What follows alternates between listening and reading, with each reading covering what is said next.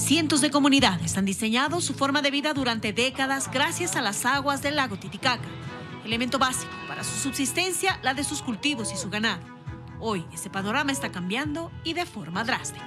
Estamos muy cerca al límite de la comunidad de Coana, cerca al lago Titicaca. Los comunarios del lugar nos cuentan que en los años 80 todo este sector que está a mi alrededor era parte del lago que hoy se está secando.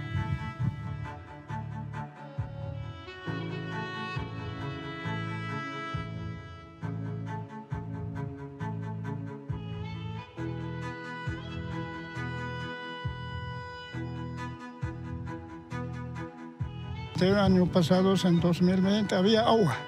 Ahora todo seco, poco a poco ya está reflejando el lago Titicaca. Nosotros estamos sequía de eh, lago Titicaca, estamos. Ahora ya no hay pescado. Antes había pues, este lago, lago era pues, este lugar. Esta es la bahía de Coana, ubicada en el sector conocido como el Lago Menor.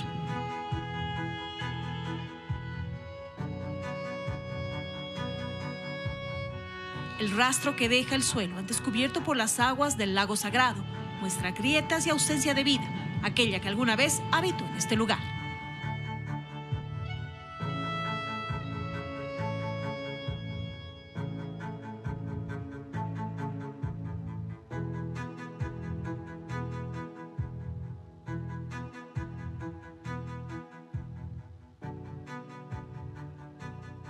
Hasta este lugar y en otras riberas del lago pueden verse estas hermosas aves. Estos flamencos están solo de paso en el lugar hasta que el invierno termine, según los expertos en biodiversidad. Llegan hasta aquí en busca de alimento, mientras las temperaturas puedan mejorar y así migren de vuelta hasta su hábitat natural. Hoy se alimentan de lo que encuentran en estos bancos de barro y agua escasa, donde antes estaban las aguas del lago.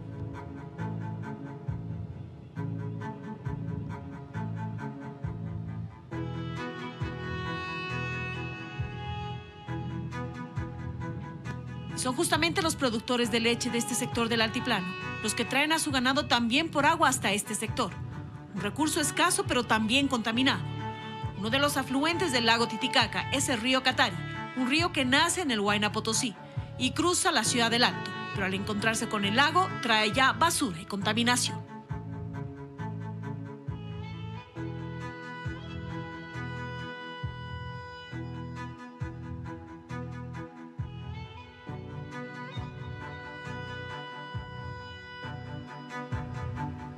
¿Qué hacen los comunarios para encontrar agua suficiente?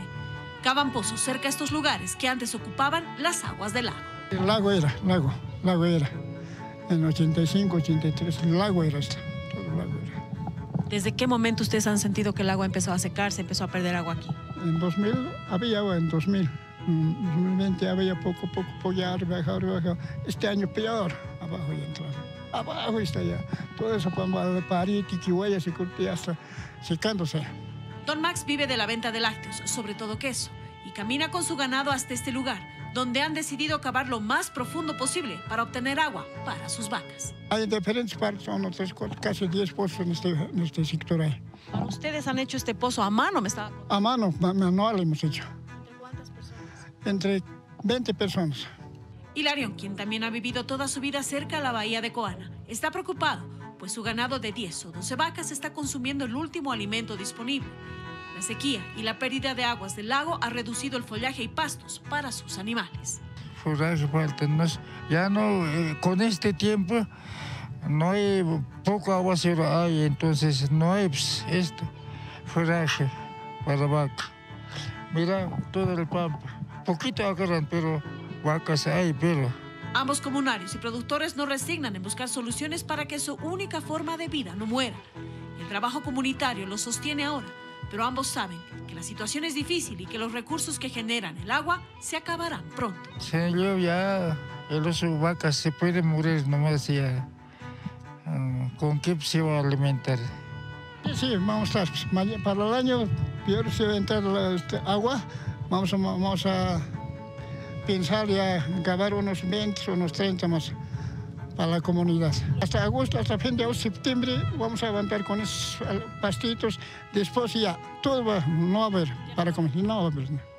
Así transcurren los días en este lado del lago sagrado.